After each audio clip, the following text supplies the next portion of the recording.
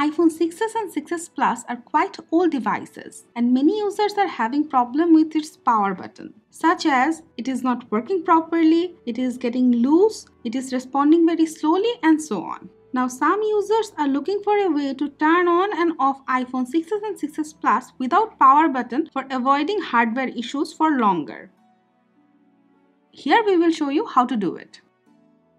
Now if you want to turn off your iPhone 6s and 6s Plus without the power button, open settings, go to general, scroll down, tap shut down, you will get the power slider, slide it to turn it off. Now, if you want to turn it on without using the power button, take your charging cable and make sure it is on power. Now insert it to your iPhone 6s and 6s Plus and it will turn on. So guys, this is the way you can turn off and turn on your iPhone 6s and 6s Plus without using the power button.